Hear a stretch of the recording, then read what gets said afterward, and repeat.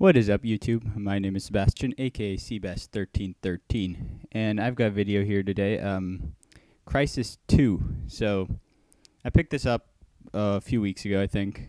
Um, haven't played it too much. Played quite a bit of the single player, and this was actually my first night on the multiplayer. And I ended up pulling host this game, but I'll get into that later. Um, overall, actually, I'm really, really enjoying this game. It's, I mean, okay the classical "It's no Call of Duty" saying. Um, it isn't. That's because nothing is anymore. Uh, Black Ops is is barely even Call of Duty. Um, I mean, you have Modern Warfare 2 sort of set the set the level really high, and even though a lot it annoyed a lot of people, it's sort of like it sort of screws with every other game ranking that we have. Um, but yeah, I d- I don't really want to talk about that too much. It's actually a boring subject for me. I just say play what you enjoy playing, and as long as you still enjoy playing it, why not? Um, so here we go, Crysis 2. Having a lot of fun with this game. It's something different. This is actually my first game uh, where I tried out the sniper rifle, and obviously I'm not very good with it. As you see here in a minute, guy's gonna come up and I'm gonna try to kill him, and it's gonna fail pretty miserably. Yeah, right here. Um, but it, it's fun. I like the game a lot. Yeah, and it's actually annoying. Uh, hitting square to skip the um, kill cam works, but if you hit it a tiny bit too early, you go to that person's uh, PlayStation Network profile, which I've never actually seen anyone ever care about at all. So that's slightly annoying. And I guess, I mean, I see why they have it as a feature. It's not a terrible idea. It's just there's no point in it for a game like this. Um, the single player is really really fun. If you haven't picked up this game, for the I adv- I recommend it for the single player alone as being well worth it. Um, the graphics are absolutely amazing, and the gameplay is fun, and the story really isn't too bad. Um, even I never played Crysis One, so I didn't know what was going on, but they explain it relatively okay, and I mean it's straightforward enough that you'll be fine if even if you don't really care about the story enough to figure it out. A key part of this game and a part that takes a while to get used to is using your abilities correctly and the cloak and armor. I don't like cloak at all. I'm annoyed when people use it against me, and this is actually a huge fail. Oh, oh no, the huge fail comes in a second. That was almost a huge fail.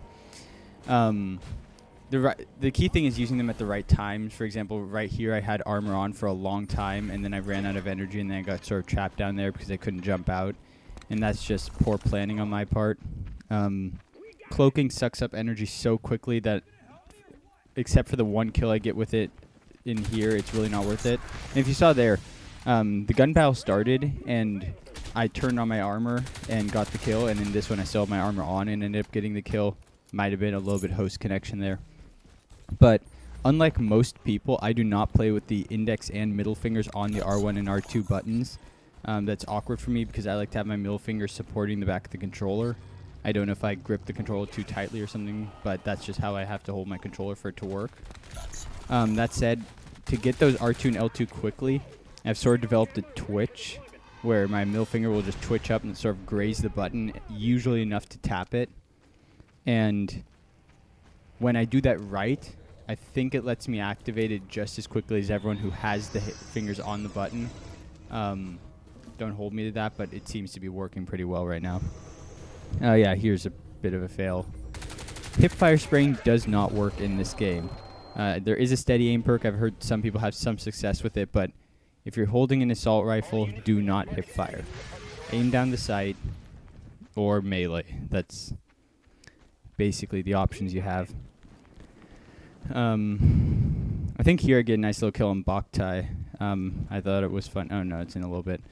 Um, I think I fail here first on a guy who comes up behind me. Oh wait, no, here's the kill on Boktai. So yeah, I go into cloak, um, and Boktai thinks he's all sneaky, cloaks as well, and stealth kill. Um, one thing that this game does do, and it might sound annoying to someone who's used to Call of Duty ways, but it really isn't too bad, is it will break up parties, usually for the first match of a lobby. And that's why Boktai and one other person from our party is on the other team.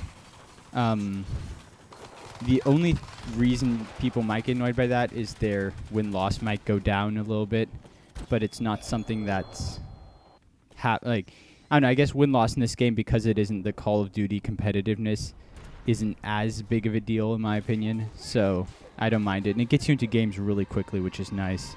Um, and then after the first game or so, it usually has added enough people for the party to be together, and it remembers the party, so it doesn't split you up after that. Um, hmm. So yeah, I'm saying I'm a lot, but that's oh well. Uh, for those of you who didn't notice or who just don't know this game, this is the headquarters game mode. It is my favorite game mode right now. I mean, they have TDM. Um, don't think they have a domination. They have a search and destroy, which actually sounds interesting. Ehaz says he doesn't like it on the forums. Um, I've never tried it, but one team apparently gets pistols and the armor, like and the nano suit stuff, and the other one gets whatever they want, but no um, armor or stealth modules and that's sort of interesting. I don't know. It seems like it could be good, but we'll see. Here, I think I actually switched classes, and I think I get like one more kill this game or no more kills. Oh no, I think the game's is the game over. Yep, yeah, it's over.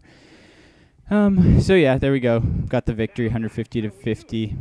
Um, I went 12 and five. Only got 150 points. Didn't play the objective too much, but that's the basic look and feel, I guess, of the game so far. And if you haven't picked it up, I advise it. It's a fun game, even if you only do it for the single player. It is worth it, in my opinion. Um, yeah. So thanks for watching, guys. Uh, I'll see you all later.